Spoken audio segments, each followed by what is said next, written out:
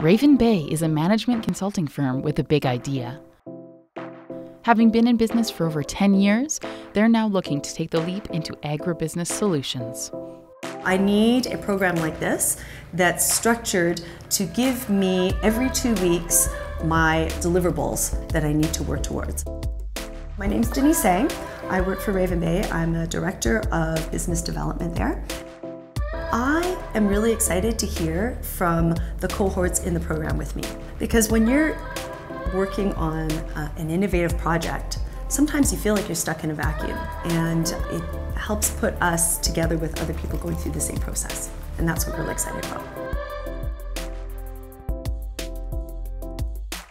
Over the next 12 weeks, Denise and Raven Bay CEO Don O'Dwyer will work alongside three other companies as they attempt to accelerate their business idea. When we first started in the Ignite IAP program, we came with an idea.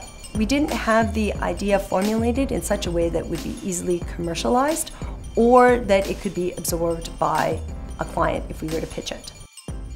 Between bi weekly sessions, the cohort members must do the bulk of the work on their own time.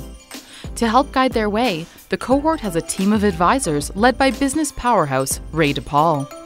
One of the challenges that we had was that we were challenged to find product managers that have experience bringing products to market and commercializing them.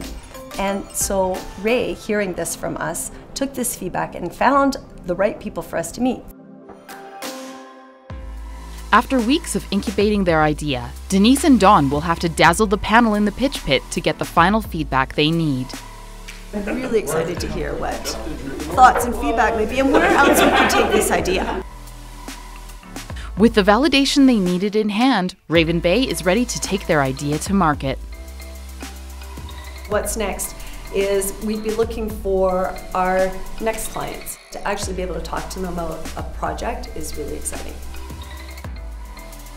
Want to accelerate your idea? Apply to be part of the next Ignite cohort and watch your idea take off.